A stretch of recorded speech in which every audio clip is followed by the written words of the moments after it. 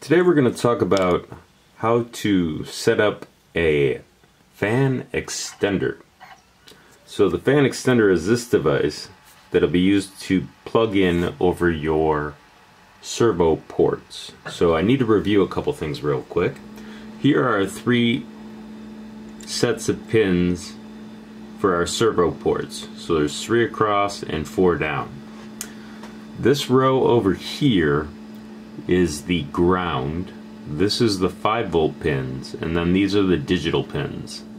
And these digital pins correspond to D4, D5, D6, and D11. Now over here, we have our power pins for either 12 or 24 volts. In this case, we're going to do 12 volts because our, our fans are 12 volts. So the first pin over here is our voltage and the one over here is our ground. So on the fan extender, we're going to plug this in over our servo pins and apply a little bit of thumb pressure. Now if you don't want it on your board you can always use jumper wires to get around the problem to extend it off. But in this case we're going to do it so that you can see it on the board. Next we want to connect our power. So in this case the ground pin I believe is here and the voltage is here. If it's not right you can always reverse it later on. And then we're going to connect the other end over here. Now because we're going to do an example where this actually uses a stepper driver to turn on the fans, we're going to install our stepper driver. Now keep in mind that the enable is over here and we're going to install it on our x-axis.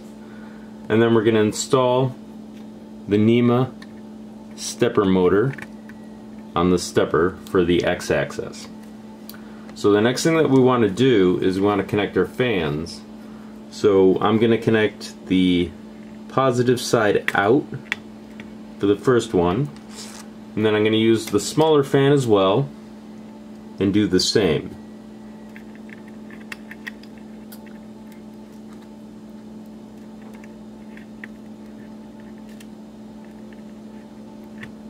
Okay, now that that's connected, what I'm going to do is I'm going to connect the USB communication cable to the computer and this will allow us to actually load the Marlin firmware, so I'll show you that in just a second. Okay, in order to set it up we have to connect our USB, so we're going to connect the big side to the board and the small side to the computer and you're going to hear a beep. Now keep in mind you don't want to touch the board after it's been energized. So in a moment I'll show you in Marlin how we're going to configure the software. Okay, we're in the Marlin folder. We're going to open up the bug fix for Marlin. We're going to open up the Marlin subfolder. And the first thing that I want to do is search on boards and open that up. And inside boards, I want to do a search on MKS. And as you can see, there's several MKS here, but the one that we're looking for is board underscore MKS underscore gen underscore L. And we're going to copy that.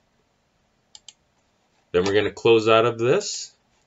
And we're going to search on the Marlin folder for the marlin.ino and open that up.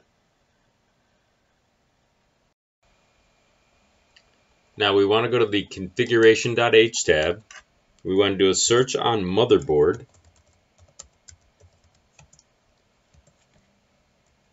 And what we're going to do is we're going to replace board underscore ramps underscore 14 underscore EFB with what we copied. So we're going to paste it here.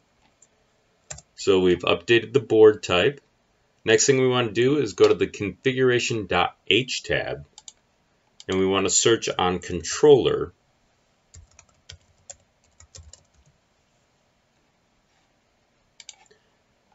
And what we have here is define use underscore controller underscore fan. Right now it's commented, so we're going to remove the comment. So now that we can use it. And we also want to set a controller pin. So we're going to remove the comment here as well. And we're going to change this to pin 6 for the digital pin. Now, the controller fan time that we have controller fan in seconds, this is the duration in seconds for the fan to run after all motors are disabled. I'm going to reduce this for the video for you. So it's going to be 5 seconds instead of 60. And then the fan speed will change to 225 and then the next thing that we need to do is load the Marlin firmware. So we have to check to see that we have a port connected. Now it says we have one port connected. So what I'm going to do to check this is I'm going to remove the cable, then go back in and see if it's there. There's no port, so that is actually the one that we're using. So we're going to reconnect that. Then we're going to go back to Tools, and select COM port 4. Next, we have to select the board type, but in this case I've already selected it, so it's the Mega 2560. So we're good there. So all we have to do now is press compile and upload, and in a moment, in Pronterface, after this is uploaded the firmware to the board, I'll show you how to test it. Okay, in order to run this with the stepper motors, we have to energize it with 12 volts, so I have to plug it in.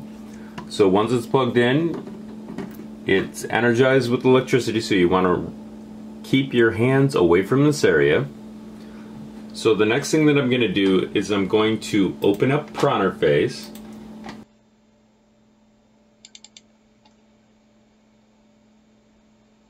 Okay, in Pronterface I'm going to connect to the device. As you can see, we're connected now. So I'm going to move the axis 10 millimeters with the stepper. Now keep in mind, once it's moved, I'm then going to go over to the motors off and click that after I've shown you that the fan goes on. So first I'm going to do this, show you the fan, and then I'll click the motors off so you can see that after 5 seconds it stops. So here we go.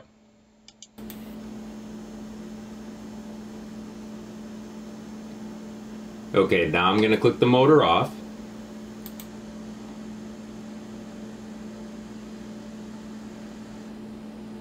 So if you like my video, please like and subscribe, and please share. Thank you for your time.